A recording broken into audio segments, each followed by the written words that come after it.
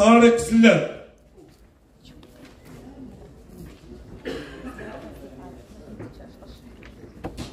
إدريس الشكر واخا كان كاين اللي ترشح بالواتساب كاين اللي ترشح ولكن حنا جمعنا الترشيحات كاملين. كيف ما كانوا كيف ما كانت الطريقة باش باش باش. ثم سمعنا بأنه أثناء آه، اللي تلقينا سمعنا بأنه كاين بعض المرشحين اللي انسحبوا. ما كانش عندنا وثيقة ما يثبت ذلك كيف اتصلنا بهم؟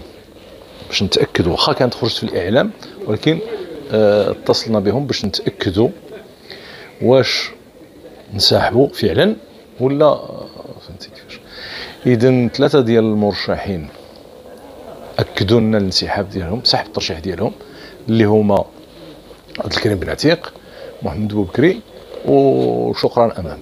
هادو ثلاثة أكدوا وعاود اتصلوا une deuxième fois باش ياكدوا وصافطوا يعني آه داك الشيء آه اذا هادو غادي نحيدهم بقاو الأخرين. راه بقاو المرشحين الاخرين الآخرين. كاين اللي ما حضرش المؤتمر.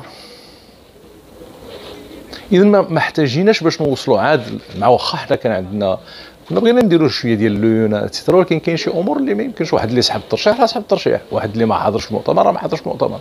المؤتمر هو اللي يقرر لا في الخط السياسي ديال ديال الحزب ولا في الأشكال التنظيمية ولا في كل شيء. كاين الأفكار اللي كانت هو أنه خصنا مزيد من التشبيب مزيد من التأنيث. هادو ضروريين. الانفتاح المجتمع بطبيعة الحال خصنا نوفقوا بحال الورقة التنظيمية شنو تتقول أننا خصنا نوفقوا ما بين كون أنه مناضلين عندنا وكاين آه المنتخبين.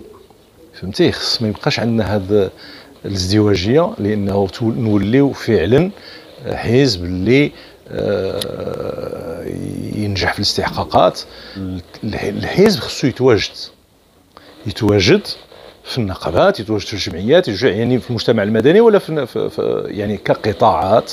يعني عندنا ناس أطباء عندنا مناضلين آه، فهمتي؟ آه، اساتذه اساتذه التعليم العالي جميع القطاعات محامين إلى غير ذلك خصهم يتواجدوا فهمتي كما تواجد في الحي ديالك خصك تواجد حتى في المهنيين الهدف اللي غادي يقوينا هو الحرص على استمرار وحدتنا. والحرص على استمرار هذا الإنجاز الرائع. لمؤتمر الإبداع والتحدي كما سماه الأخ أنفي.